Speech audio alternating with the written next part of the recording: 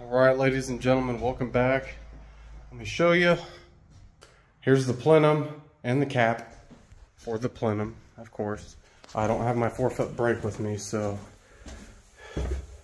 where I just, Shane left earlier after we got the furnace down here. Everything you're about to see is all me.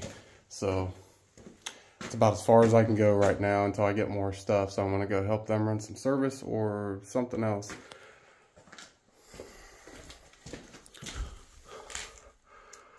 There you go, gas furnace. I tied in the gas. The high volt goes up into the switch all the way over to that panel you see back there. Right there. Ran it up and over and all that fun stuff. I'm going to tidy it up right there. Actually, that's their wire. But two plenums. Connect the ductwork. Do a four piece right here from this return to the existing plenum. Uh, like I said, did the high volt. There's the gas and drip leg, intake, exhaust. Got the drain coming out right here. The low volt's like, well, right up here behind me. So we're either going to run it new. Actually, it's right here.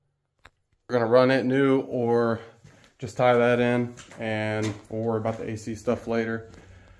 Everyone have a great day. If I run into something else, I'll post it on here, so stay tuned. And I'll see y'all later on. Peace.